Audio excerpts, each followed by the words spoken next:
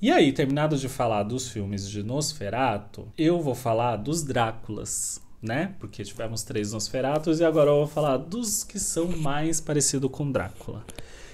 E aí a gente tem, e aí a gente tem o filme Drácula de 1931, que ele respeita bastante o que é feito no filme, inclusive a morte do Drácula que acontece da mesma forma, eles abrem lá é, é toda a história que eu contei do livro, porém, é, ali no final, o Drácula ele é morto por uma estaca mesmo, numa casa abandonada. O filme ele é, já é hollywoodiano, ele não é uma adaptação de outro país. Então ele tenta manter muitas características, só que ele tem muito cara de filme de Hollywood desse período, 1930, 1931. É, a gente tem o Bela Lugosi no papel do vampiro e ele é, consegue fazer tão bem o papel que infelizmente ele fica marcado como ator de filmes de terror. E naquele período a gente tem que os atores eles são muito característicos. Então hoje a gente já não tem tanto isso, mas até ali alguns anos atrás, década de 2010 a gente tinha bastante, onde os atores de romance faziam muito romance.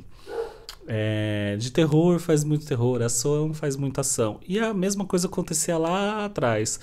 Porém, lá atrás você não tinha possibilidade de tentar fazer outro estilo. Era muito difícil você conseguir sair do seu estereótipo, porque é, os estúdios eles contratavam os atores exatamente para falar: esse aqui é o nosso ator de filme de terror sobrenatural. E aí é esse ator que vai fazer todos os filmes de sobrenatural. E aí essa caixinha tá preenchida.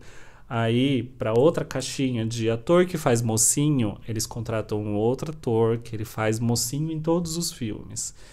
E os atores não costumavam circular, né, andar entre as caixinhas um dos outros. E o Bela Lugosi acabou ficando muito característico pelo Drácula. Inclusive, por conta disso, acabou não fazendo mais muito papel, muitos papéis depois, porque ele acabou né, caindo na bebedeira e acabou morrendo, inclusive por conta disso, perderam toda a fortuna dele, morreu jovem por conta da bebida. O filme eu acredito que não tem muito o que falar dele, mas ele é muito bonito visualmente, por mais que ele ainda seja um filme preto e branco. Ele tem falas já, ele não é um filme mudo, mas ele conseguiu aí, esse daí foi o primeiro de muitos que começaram a abrir a porteira para os filmes de terror principalmente sobrenatural de vampiros. Depois desse filme, Drácula de 1931, eu já pulo direto para um outro expoente muito importante, que aí é o Drácula do Francis Coppola, que é o Drácula de Bram Stoker. Ele tenta adaptar da forma mais fiel possível o livro até determinado ponto. Depois que ele chega na Inglaterra, o Coppola ataca no lixo e taca fogo no livro e faz o que ele quiser. O filme ele vira um romance. Assim, ele é lindo o filme. Ele tem muitas características teatrais. A direção de arte dele é uma das mais bonitas que eu já vi, tanto ali no começo quanto ali no final, quando eles voltam para Transilvânia, porque diferente dos outros filmes, nesse livro, nesse filme aqui, eles tentam transformar o Drácula em um novo Drácula, na verdade, porque assim como no livro, no, no, nos outros filmes, o pelo menos do Nosferatu, né? O Jonathan sobrevive e vira um vampiro, isso no de 79. No Drácula de Bram Stoker aqui, eles matam e não matam o Drácula, né? O Drá aparece é onde eu vejo pela primeira vez assim eles colocando o Drácula como matamos ele, corta para cenas pós-crédito, o Drácula circulando em 2025 na Paulista, sei lá, fazendo um rolezinho no domingo, sabe? E, e, isso daí eu acho que é uma das coisas que mais mata o Drácula. Ai, não, a lenda eterna e não sei o que lá. É esse o recado que ele quer passar, mas eu acho tosco. Você matar o personagem e depois você colocar ele vivo séculos depois, fazendo o que ele sempre fez. É, a atuação do Gary Oldman nesse filme é primorosa, é uma das coisas mais lindas que eu já vi. tanto ele como Drácula velho como Drácula novo. Porque nesse aqui, o que, que ele faz? Quando Drácula chega na Inglaterra, ele tá lá velho, carcomido, com as esposas dele na Transilvânia.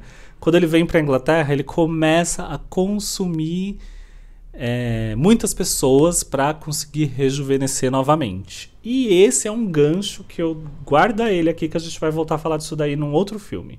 Então ele volta a comer com muito mais afinco pessoas, no, mais pessoas, né? É, é, e com isso ele consegue fazer com que ele rejuvenesça, porque quando ele estava lá na Transilvânia, ele só comia para ficar vivo. Aqui ele está comendo para rejuvenescer.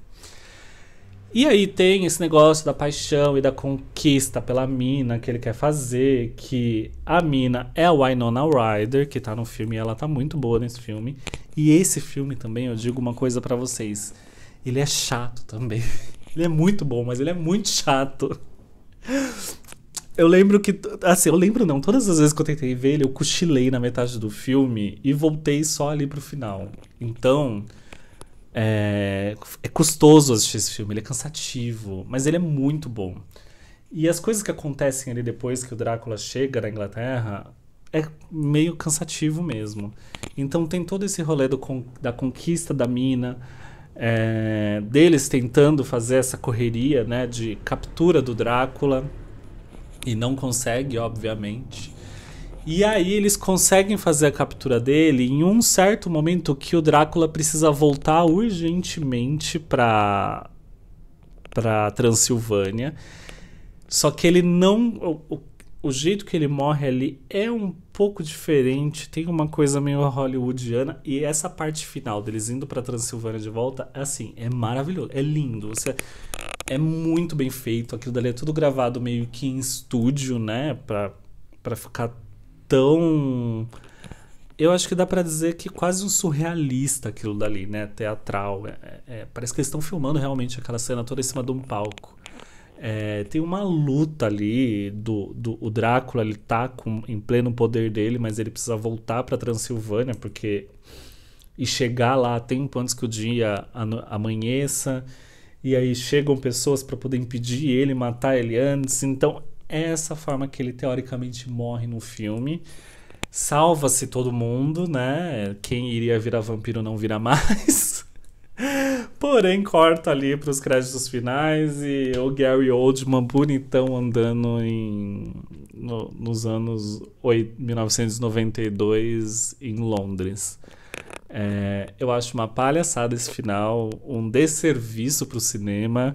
A única coisa válida dessa, dessa cena é que a gente pode ver mais um pouquinho do Gary Oldman no papel. Obviamente que esse filme fez um sucesso, eu acredito que ele deve ter sido um que, que trouxe ali pro Coppola um novo respiro depois do Apocalipse Sinal, tanto em reconhecimento por conta do trabalho dele, tanto em premiações quanto respeito mesmo que eu acho que ele estava precisando ali, principalmente porque por problemas nos bastidores, que inclusive eu já voltei até a falar um pouco sobre isso no vídeo que eu falei sobre o filme Megalópolis, que eu não vi ainda, eu ainda estou enrolando para ver esse filme, porém a gente volta a ter muitos dos problemas que já que foram esquecidos ali de volta, inclusive algumas denúncias de, né, é...